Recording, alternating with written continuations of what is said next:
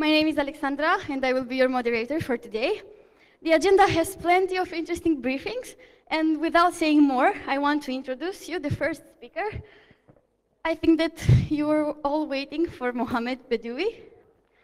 Um, he's a senior security re- researcher and a penetration tester at DTS Solution with more than 30 years of technical experience. He has been working in different fields, from government to telecom or power and energy providers. He will have a presentation about how to build a weaponized honeypot. Let's give him a round of applause.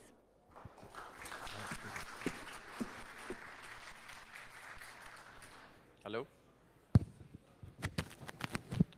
Yes. Hello? Hello? Okay. You hear me? Okay, perfect. Um, today, uh, we're going to speak about uh, building a weaponized honeypot.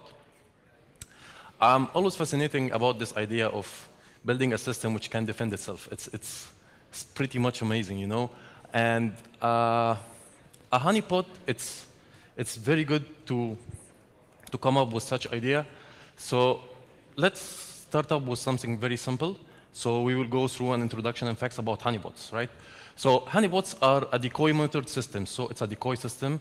Uh, its main purpose and idea is to deceive users who are interacting with it and uh, to collect and gather as much as information as possible, right? And it's heavily monitored also.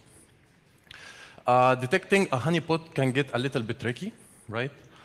Uh, but once it happens, it can be very dangerous on your infrastructure because if it's like a highly interactive honeypot, and we'll get to this later on, uh, it can be used as a starting attack point to compromise other connected systems.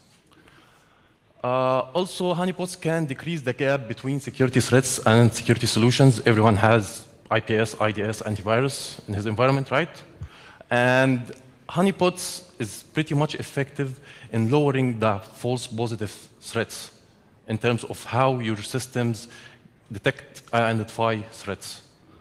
Uh, also, honeypots can function as stress reliever in case of resistant attacks. So a malicious user is attacking your environment and he's stressing very hard and you can like distract him for a while while you are maintaining your infrastructure and see exactly what's going on in your systems and try to work on it and batch it on the fly. So uh, the first publicly available honeypot was, by, was made by Fred Cohens uh, and it was called the Deception Toolkit in 1998. So uh, honeypots can be classified in way different things. So what matters us in this talk is the classification per design. So we have low interaction honeypots and high interaction honeypots. Uh, of course, we can uh, classify them by usage, for example. So we have research honeypots and we have production honeypots. Uh, we can, there is, there is a lot of uh, classification we can use, but for this presentation and for sake this presentation, we're gonna use the bird design. So the low interaction honeypots, they emulate services. They are not fully honeypots. So it emulates the service. And it has like some limited commands. So for example, the most famous one. So we have FTP, you can list files, you can go through files, maybe you can put a file, but you cannot delete file, for example. So you don't have the entire functionality of the FTP. Uh, the intruder's interactions are limited, of course, till the limit of the emulation provided by the honeypot. So the low interaction honeypots are easily detected. So a malicious user is playing with your environment and you are using a low interaction honeypot, the chances you are getting detected is very high. And the good thing about the low interaction honeypots is that they are using a relatively a few hardware resources. So to implement and deploy a low interaction honeypot, it will not take a lot of time, it will not take a lot of effort, it doesn't need any technical expertise at all, and at the same time, it's gonna save you the resources, but on the other hand, it's gonna be bad in terms of detection. Uh, on the contrary, the high interaction honeypots are different a little bit. So they work fully by implementing a service. So you have an entire service, an entire operating system, an entire stack with services. And the attacker or the malicious user has the full access, full bridge of interacting with your system, full commands for FTP or whatever you are trying to emulate.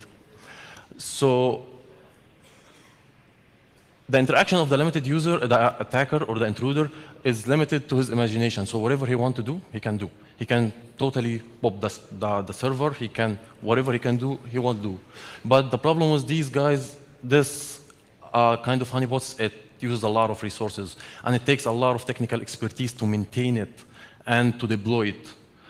Uh, so this is very important. Honeypots need to be well configured. Otherwise, they can pose a serious security risk to your environment. So imagine that you are using a high interactive honeypot in your infrastructure, and a malicious user been able to pop it, and this honeypot is connected to, for example, it's in your DMZ, and it's connected to your web server, to your mail server, because of course you have to reroute traffic which is hitting your mail server or web server.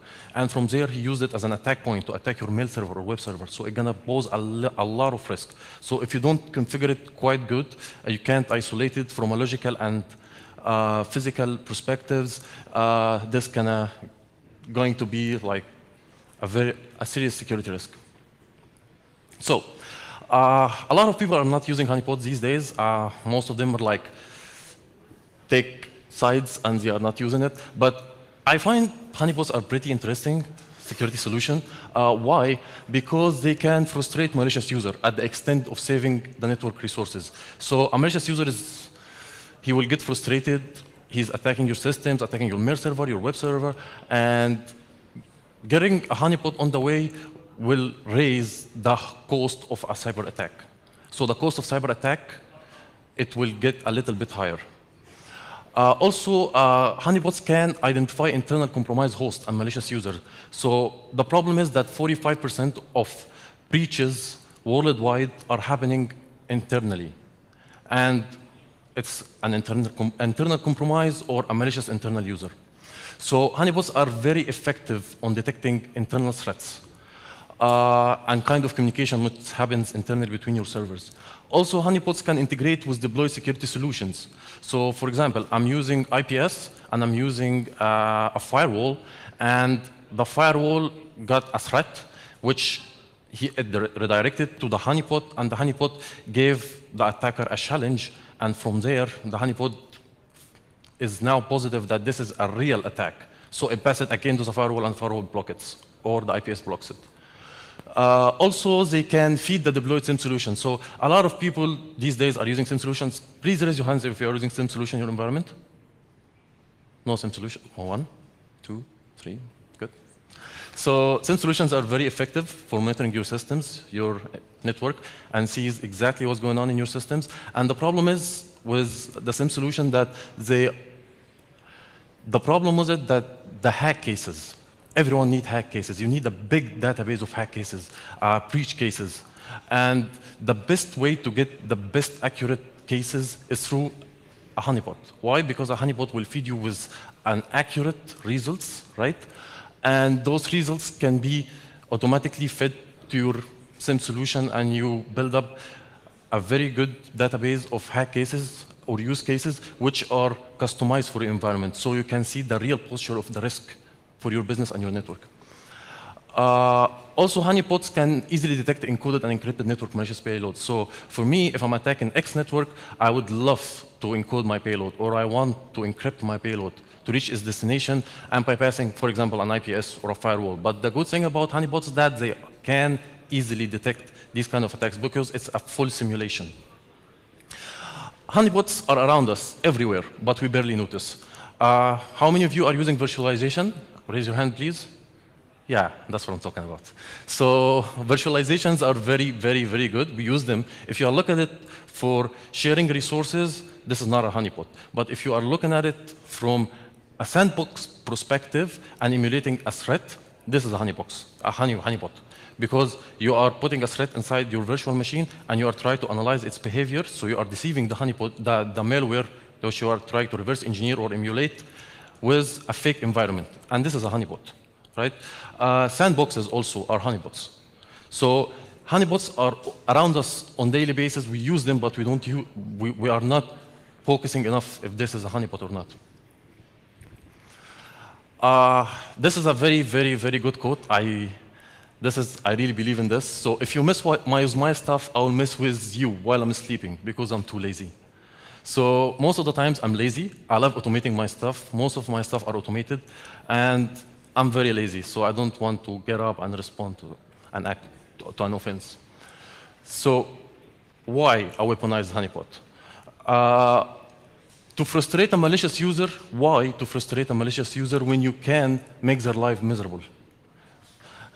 This is one of the things, and, and the good thing is that if he's attacking me, I have all the right to attack him. And I'm not tracing him down.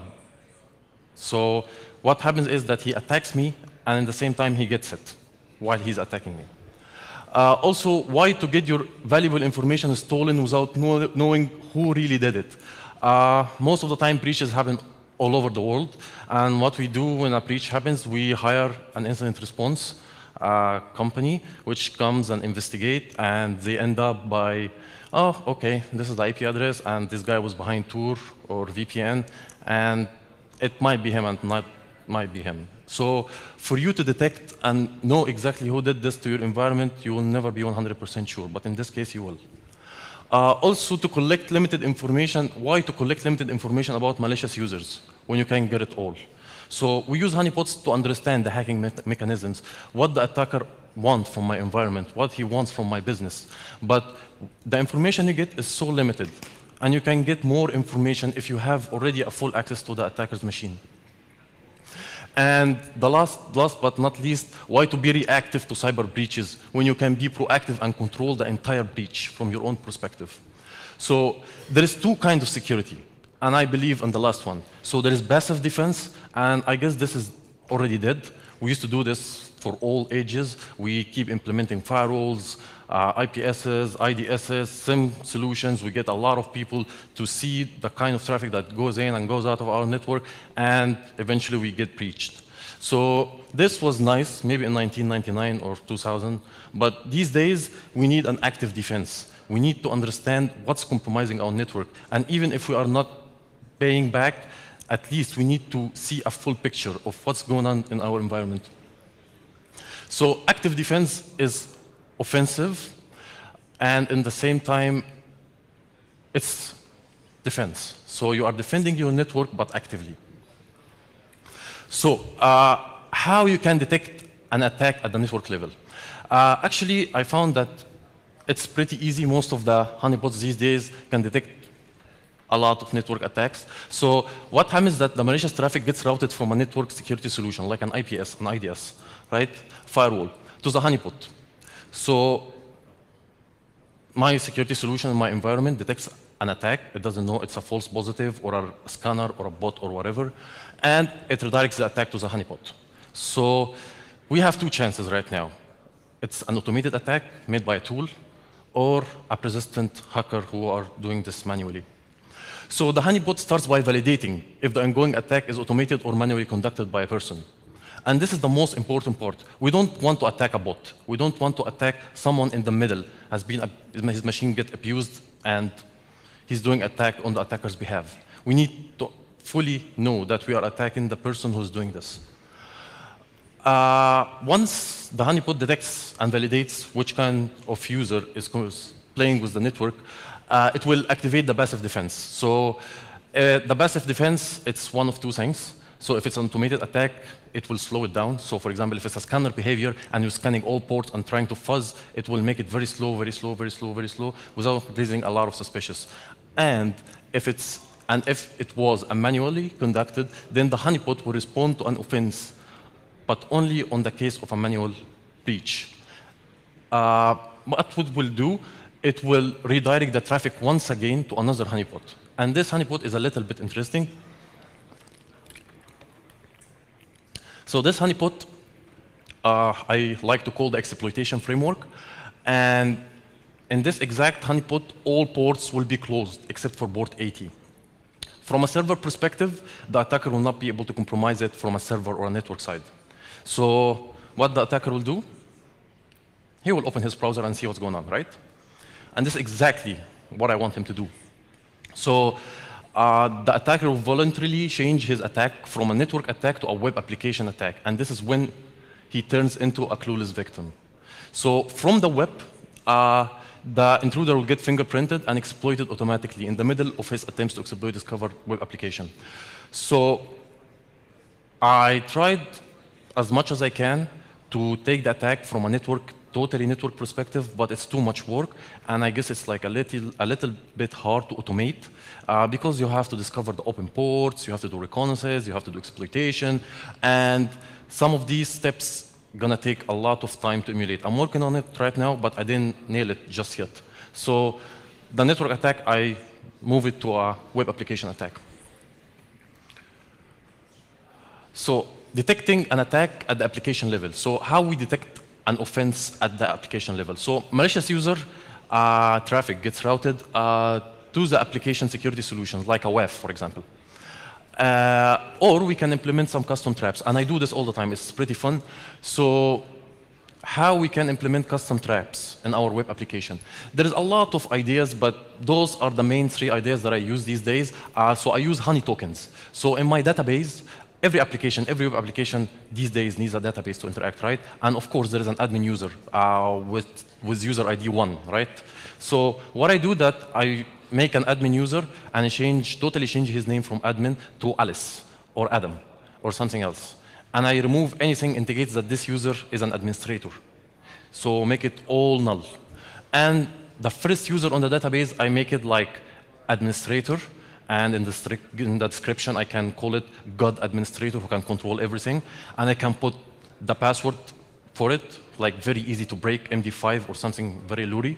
And what happened is that once an attacker compromises my database, he will just like automatically go for the first entry, with, was user ID number one, the God user, and he will try start to take it and authenticate with the web application. And this is when he gets detected. So at this point, the malicious user tried to use my decoy, and that's when I get altered and I know that there is a database breach, and I can, at this point, shut down the entire web application and try to deal with him. Uh, also, there is something called honey pages. Honey pages are very interesting also, so you can uh, inject uh, some secret pages on the comments, you know, uh, or hidden values, uh, and make it very invisible for people, normal people, to face or encode. Uh, and they can use to identify a persistent attack. Someone is going manually through your pages, viewing your source code, what's going on. And honey domains, of course, they are dummy DNS entries, uh, which are published at subdomain level, and they can use to identify an active reconnaissance or discovery. So responding to an application offense is very easy. So the traffic gets routed once more from the honeypot or directly from the web application to the exploitation again environment, and it's a web-based. So he gets fingerprinted and popped. So active defense equals offensive security plus artificial intelligence. Uh, yeah, it's, it's pretty hard. I know that a lot of people say that I can't pull this off, but I already did. I have a working proof of concept for this. So how logically it can be done? So let's, let's take it very easy, right? Very simple, and I will break it down for you. So any successful exploitation starts with what? We recon, we identify, we exploit, right? And we backdoor to ensure further access easily. Uh, this point, uh, sometimes we face a lot of problems. For example, the malicious user, these days we are 2006, almost 2016, so the malicious users will never come to you using their plain computer or plain, they will mostly use Tor, VPN, or intermediate system to break into your network. So uh, right now, we need to understand what should be done to unreveal the identity of this user and exploit his system.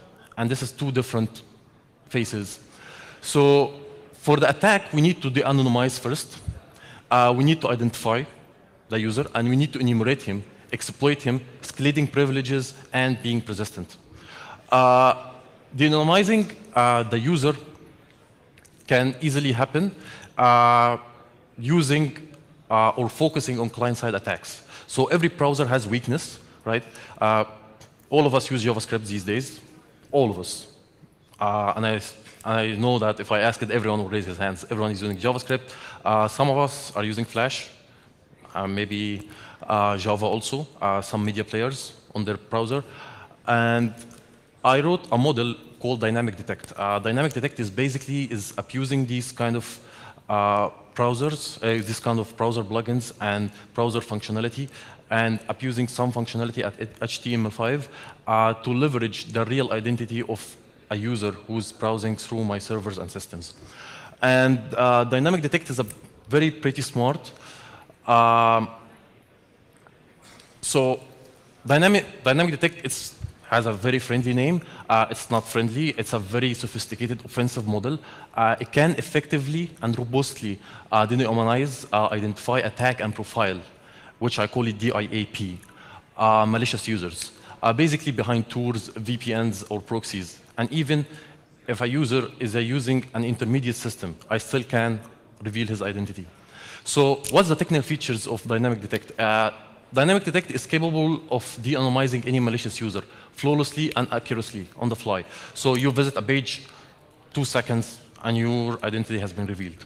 Uh, it's also capable of identifying malicious users' IP address, country, city, and coordinates. Of course, the coordinates will not be so accurate because it's based on you, uh, uh, on the provider, which are giving you, but it's, you can say it's like 200 or 300 miles accurate. Uh, also, it can enumerate malicious users' machine and spot every single weakness. And when I say every single weakness, I'm not talking about server side, I'm talking about your browser. So you, for example, you're using IE6 and you have X number of exploits available, you're using Flash, you have X number of exploits available, and it will try to exploit everyone on the fly, like exploit kits. But after, of course, de-anonymizing your machine. Uh, it's also capable of exploiting every single weakness it identified. So it will identify it, will do enumeration, then it do exploitation after de-anonymizing your machine. And it will exclaim privileges uh, under most operating systems despite deployed security controls. So imagine, with one click, and he's gone. Uh, and also, it's capable of maintaining access and staying stealthy, even in the most strict environments. And I had to, to write a lot of custom code for this, a lot. Uh, it, can, it can profile each malicious user and with detailed activity log. And it can put some persistent entries on his machine. So uh, I use five different techniques to poison the attacker's machine, uh, persistent cookies, uh, HTML5 uh, local storage, SQL local storage. So I have like five different mechanisms to make sure that when he comes back, I know that this guy, he came before, and he was doing one, two, three, four. Uh, this is how it exactly works. Uh, so I have a backend server, right? This guy with the black hat. I forgot my hat is there. anyway, so I have a backend server, as you can see, and the backend server has six models. So I have de-anonymization model, identification, enumeration, exploitation, escalation, and persistence. And Alice is our malicious user. I choose a friendly name here. And Alice is using Tor to attack my network. And from here, she jumped on the first hop, second hop, third hop, and my honeypot gave her this web page. And from there, I can denomize, identify, enumerate, exploit, escalate my privilege, and being persistent. And my communication flows back over an encrypted medium. So for her, even if she has security controls in place, she's in a very bad situation. Right? So right now, I've been able to successfully uh, deliver a payload uh, to Allison's machine, and she doesn't even know. So she thinks that she's fully anonymous, but her traffic got forwarded to a web page, and out of the sudden, her machine is not hers anymore. Uh, unfortunately, I'm, I'm facing some technical issues with my own server. Uh, I have the proof concept code working, and I, I wanted, really wanted to demonstrate it to you. I did it before, but I don't know what's going on with it. Uh, I think it's like something to do with more security on my server. So I apply a lot of serious security on my server, and it gave me a very hard time. That's why my presentation got delayed for a bit. But anyway, I'm working on it. Maybe in like 13 minutes or less than an hour, I can work on and we can meet again. And I demonstrate it to you on the flight. It will take like one, two minutes maximum. If, if it's possible, of course. I don't know the, the organizers. So yeah, let's, let's do that. Uh, last but not least, I would like to thank uh, my direct manager, my best friend, for pushing me forward all the way, right, Shashir, uh, and showing me the light where it's too damn dark. And I would also would like to thank the organizers, uh, DevCamp, especially uh, those nice guys, uh, Andrian and uh, Florina. Thank you so much.